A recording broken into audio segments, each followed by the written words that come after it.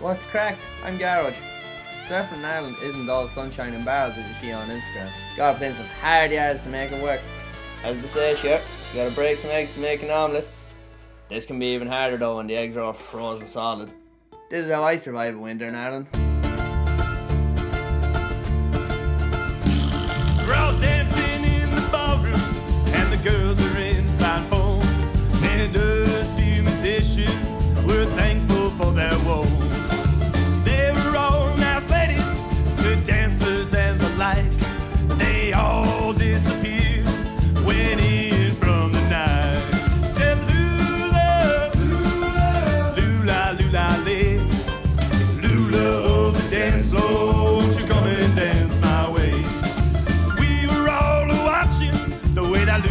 Twist and twirl.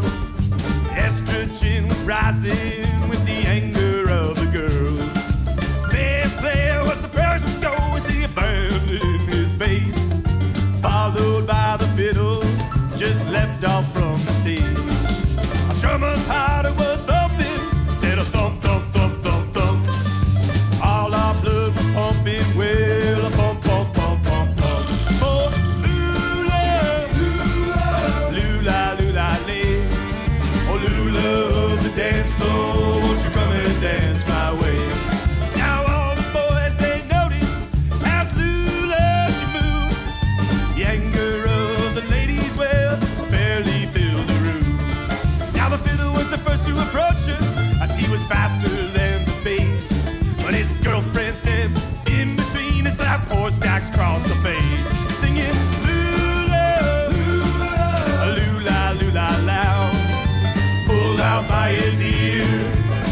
to be found.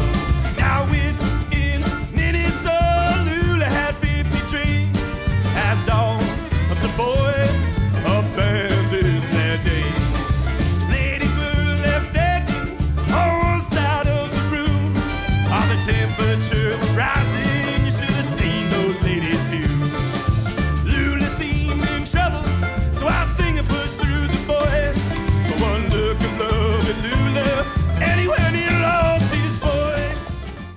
Now that you've seen how we survive winter in Ireland, got a little glimpse into how hard it actually is. Hope you enjoyed it and uh, yeah, not everything you see online is how it looks. Go out and enjoy it.